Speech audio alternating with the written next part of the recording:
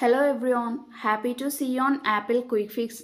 This video is gonna tell you the solutions for iPhone screen goes dark when watching videos.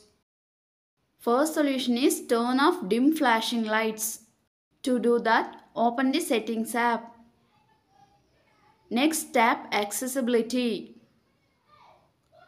Then tap motion. Here, turn off dim flashing lights. Now you can watch videos without any problem. Second solution is disable reduce white point and auto brightness. Launch the settings app.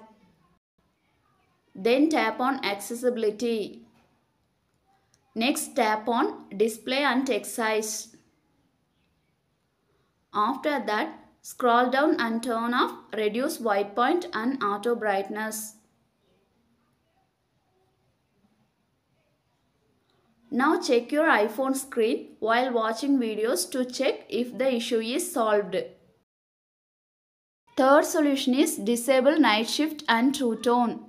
To do that, go into the display and brightness menu.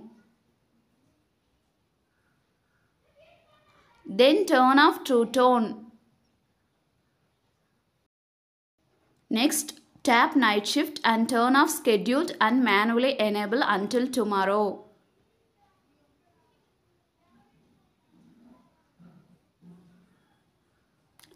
Now check if the issue is solved.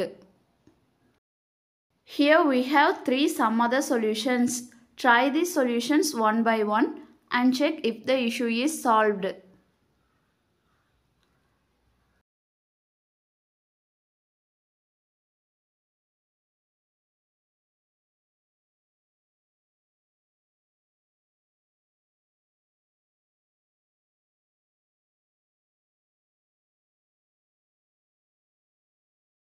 If you know any other solutions to fix this issue, let me know in the comments.